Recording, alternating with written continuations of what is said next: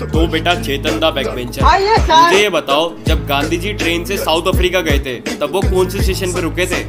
बहुत आसान sir railway station चलो वो सब छोड़ो।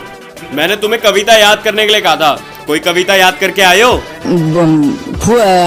सुनाओ फिर कि धूप में बाप और चूल्हे पे माँ जलती है तब जाकर एक औलाद पलती है।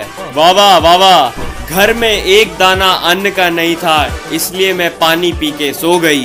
क्या बात है? मुझको राणा जी माफ़ करना गलती मारे से हो गई।